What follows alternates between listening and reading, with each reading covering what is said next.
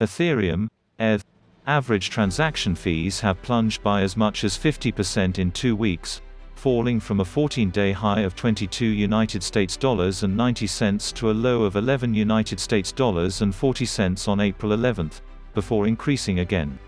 Analysts have pinned the fall on a shift in the types of bots used by traders, with flashbots replacing the priority gas auction, PGA, bots that tend to increase Ethereum fees by bidding up gas prices.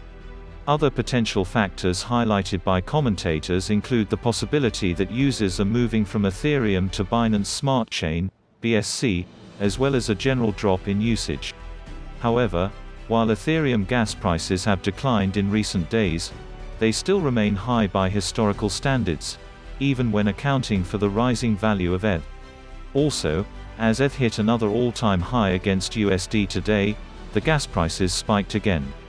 At the end of February, Ethereum transaction fees hit an all-time high of 38 United States dollars, as demand for non-fungible tokens, NFTs, and the ongoing popularity of decentralized finance, DeFi, platforms pushed network traffic to new heights.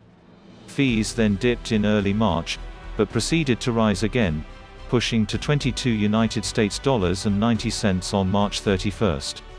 Since then, and particularly in the past seven days, they seem to be in something of a mini freefall.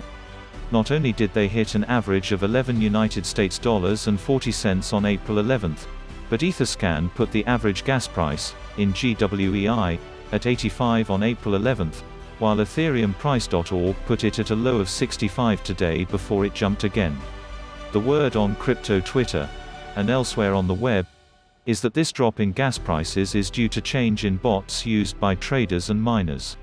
Traders have reportedly begun dumping PGA bots and shifting to flashbots. Standing for Priority Gas Auction, PGA bots are used by arbitrage traders to monitor their competitors' behavior and bid up their own gas prices in order to get priority treatment, i.e. to get to the front of the transaction queue. In other words, they cause fees to go up.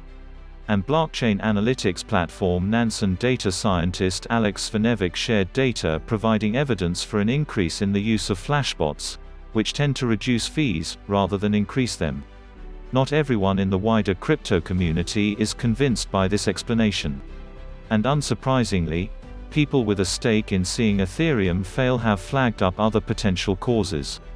As the above reveals, a significant proportion, nearly a third, of people suspect that fees are falling because certain users are getting fed up with high Ethereum transaction fees and are moving to Binance Smart Chain as a result.